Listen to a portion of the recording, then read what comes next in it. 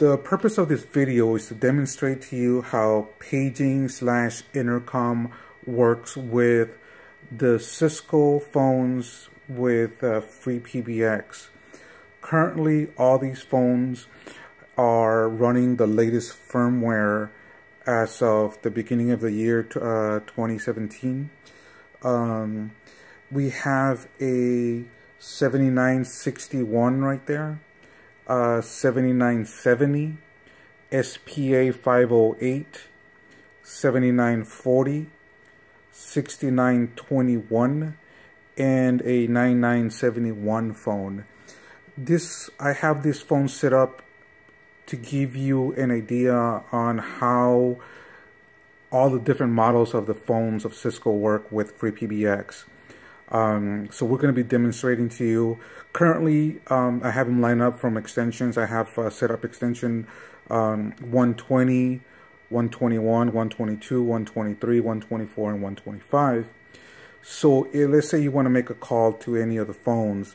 Uh, let's say you want to call um, 120. Okay.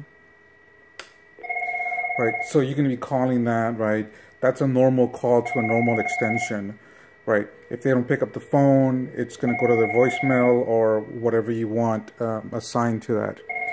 So I'm just showing you that extensions work like normal. 121. Oops. 121. Right. So just showing you, not a problem. You can call their extension. Uh, you could pick up the phone and they're going to be talking to each other. So I'm not going to go through all of them, but as you can see, the extensions work properly. The way that we set up paging in intercom is we add a additional extension to each phone and we just add the digit number one. And I'm going to give you an example. Let's say that you want an intercom extension 120. You would just add the one to any extension, right? So 120 becomes 1120 and I'm going to show you how that works. So you go one, one, two, zero.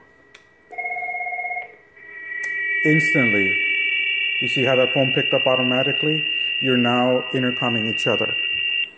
Okay, and um, you will hear a lot of feedback throughout the video um, just because the phones are super close to each other. Normally, you don't get feedback in a normal office environment. So again, right? So let's say that you want to intercom um, 121, right? So you'll do one, one, two, one call,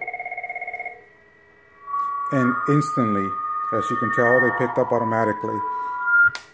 So I'm not going to go through all of them, but that's how you do it. In the way that we set it up, we just add uh, one to the to whatever extension number we had set up for your system. So let's say that the extension was 200. If you want an intercom, you just add the 1. It'll become 1, 200. Pretty simple. Just add the 1 to intercom. Now, to do a paging system, let's say you wanted to page the entire office, we can set up a group, right? So in this example, um, we've set up group 701. So I'm going to dial 701 all the phones are picking up. As you can see, all of them are picking up. Gonna hang that up. And all the phones became um, away from the intercom system. So that's how they work. Um, any questions, um, leave us a comment. Please like this video, share this video if you liked it.